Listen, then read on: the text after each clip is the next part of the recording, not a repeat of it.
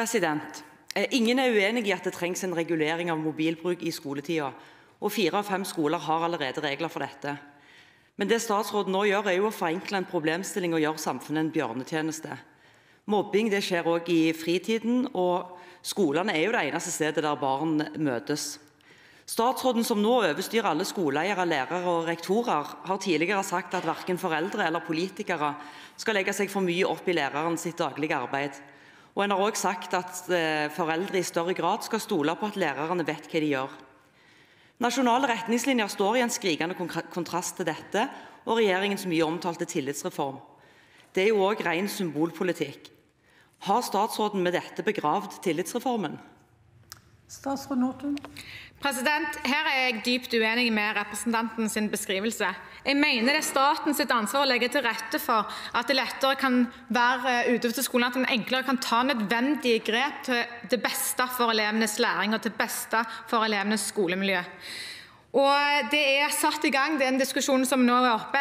Viktig bevisstgjøring og debatt ute i kommunene, i skolene, i klasserommene. og Det er veldig positivt. og Ikke minst har det vært overveldende positiv respons fra lærere og rektorer der ute, som har gjort det enklere i deres arbeidshverdag. og Det er det viktigste for meg. Hagerup. Takk, president. Jeg registrerer at uh, statsråden ikke svarte på om en har begravd tillitsreformen, så da kan en tenke at en lever i varierende grad.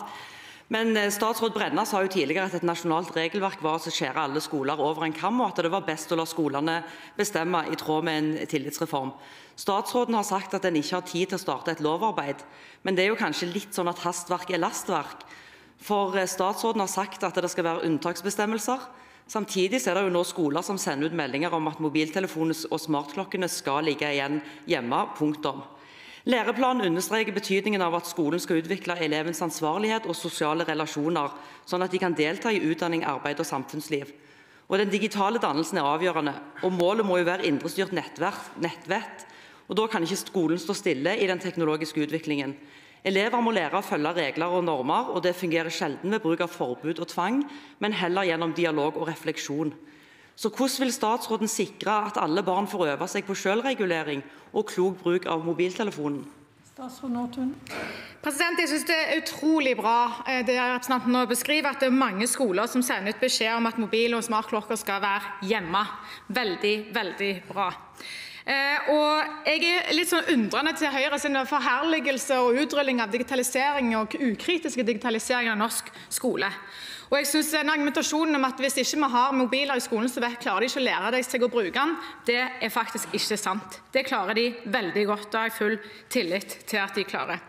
Og Det som er viktig, er jo at eh, for Det er ikke nødvendig at elevene skal ha tilgang til sine private mobiler i for å lære digitale ferdigheter og digital dømmekraft på skolen. Denne delen av undervisningen håndterer skolene i dag på en helt fin måte, andre måter gjennom bruk av egen læringsteknologi. Så det er jeg veldig trygg på at det skjer allerede i stor grad ute i skolen, med eller uten smartklokker og mobiltelefoner hos elevene.